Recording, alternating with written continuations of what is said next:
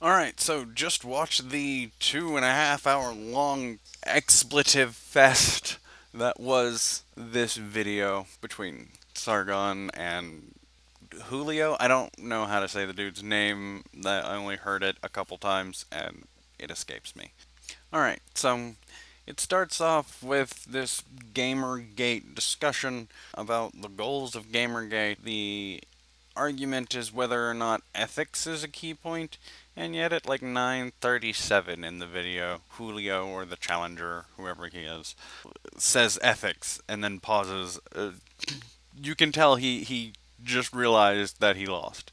And now I have to set the the other two and a half hours of this video of him dealing with the fact that he lost his argument already. So around 13 minutes is a particularly interesting point where Julio is talking about people that are fundamentally incompatible with ethics. Hmm. That's an interesting statement. You are saying that these human beings are somehow genetically or, I suppose, raised in a way that makes them unable to make ethics? it's ridiculous and it's very inflammatory, very hateful. This is the kind of speaking that we need to stop as a human race because it makes us look like asses. There's a point later in the video where, just shortly after the previous point, where he's talking about new media. What is new media? How is it not the same thing as whatever old media is? He wants to burn it down, he says. Burn what down? Old media? Fox News. I can understand wanting to burn down Fox News, but that wouldn't stop any kind of systemic issue of corruption.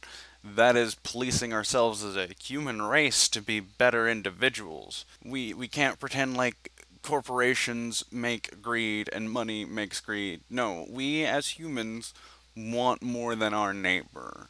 That's normal. We have to teach ourselves and our children to be better. Around 20 minutes or so, they start having a discussion about the economy, basically, and how it should run. Apparently, Julio is much more for a donator economy versus a patron economy. Unfortunately, a donator economy doesn't work when you're dealing with humans because humans don't like to give. And when we do give, we tend to undervalue. Now, I kind of view this social justice warrior and Gamergate thing from afar. I enjoy watching all of the media about it, but I certainly don't like to get involved. Uh, so I don't Reddit or any of that stuff, or at least not currently at the time of this recording. But from what I understand of a social justice warrior, how do Julio and this Seattle Truth fella not fit the bill? I see something common among these social justice warrior types from what I see. They use the word respect derogatively. I always see them telling someone that they respect them, and it's usually in the same breath as belittling their ideas or basically telling them that they are invalid in this current situation. But I really don't want to focus on them too much. Seattle Truth, or whatever his name is, was not a big part of the video. It leaps back into Julio's piece with Julio stating something along the lines of, Don't argue with an idiot because they'll win from experience. I cannot help but feel this is foreshadowing because Julio is going to spend the next roughly hour and a half sticking his foot in his mouth. After about 45 minutes of Julio being rude to Sargon, Sargon is rude back. And of course, Julio takes massive offense to this. It's just one of those dish it out but can't take it kind of deals it just makes me giggle. So, this is about an hour into the video or so. Julio, the challenger in this situation, the one who's challenging Sargon, he does not seem to understand that the burden of proof is on him as he is the one making the claim. I see this a lot in the kind of genre of media, journalism, it's become, for some reason, socially acceptable to make wild claims and then expect the other person to defend themselves. I mean, we have laws in America against this. They're called libel laws. It's so you can't just print crazy things about whoever the target is and not expect to not get in trouble. It's the reason I'm not allowed to say John Travolta is an alien, at least not in earnest. I do, however, understand the discussion and the need for discussion. I used to watch a lot of Angry Joe. Uh, he he was a good show. He was entertaining, and that was the important part. And he displayed the information I was looking for. But I don't remember what point specifically, but it started to become very obvious that his reviews stopped being genuine. So I stopped watching, I stopped subscribing. There is a point somewhere in the video where Julio says that he's subscribed to some location that he does not support. And it really goes back to that argument whether, well, uh, on the preferred type of economy, whether it's a patron economy or a donator economy. This is how patron economies work. I mean, we live in a patron economy by subscribing to a channel, you are giving that content developer money. I hope Sargon is getting paid because I have subscribed to his channel. His points are irrelevant. He does not claim any authority over any kind of journalism. He is making a bunch of opinion pieces. And I just kind of like to hear the guy talk. He's got a fairly pleasant voice, and I like to hear his opinion. I feel like they uh, embody the side of the argument that I want to listen to in a way that I will listen to it.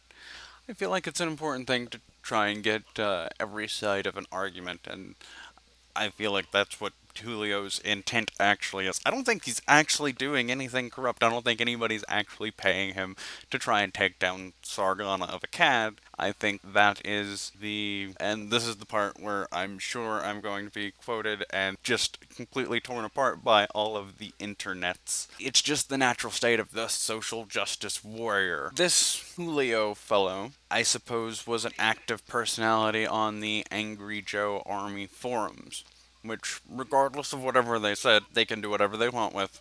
Everybody knows that. It's their property. It's their responsibility to maintain it to their liking. Enough said, really. If you need a better example, you cannot go into Toys R Us and start spouting religious rhetoric. I at least I assume. I assume that they will ask you to leave the store, and then if you don't, demand it with threat of force if needed, probably from local law enforcement, and that's perfectly acceptable. That's per- that's their private property. If you want to have a space to say whatever you like, then buy a space to say whatever you like. These are my beliefs. I understand they're shaped by my nationality, but I feel like my nation has some pretty good laws, at least for the most part. Uh, that, however, is not the subject at hand. British law is actually more of the subject at hand, at least for the later part of the video. Sargon has apparently been developing a game and has at least provided some kind of proof of its existence. I've not found any of this Julio persons, nor can I vet him at all for any reason, it seems. Not that I've dug extremely hard. It was about a five minute Google search, which I know is not any kind of actual research. That said, I still haven't found any of this man's credentials, so I would like to see them at least to to see what kind of indie game development experience he has because it's real easy to claim it. I mean, I could claim it. I don't. It, it would be obnoxious for me to what could I really show you to prove that I'm an indie game developer? I have some college examples that I made for a college course. I have some independent projects that I've done in Game Maker and RPG Maker VX. Even a really interesting space engineer scenario. Do any of these make me an independent game developer? No. None of these are professional attempts. I would not sell these for money. I would not expect someone to buy them for money. I would not display them in hopes of receiving money for them. That makes it not a professional attempt. If I did, it would be a professional attempt and I would claim it. That's really the difference. That's the difference between Sargon making a professional game and a hobbyist attempt at a game. He's trying to do it professionally. He's obviously not good at it because it's obviously his first time. This is my third YouTube video way better than my first one. And if you actually go back and to my earliest display, it was actually a bunch of screenshots that were actually just posted together quickly to make appearance of motion. So, yes, you must get better as you go.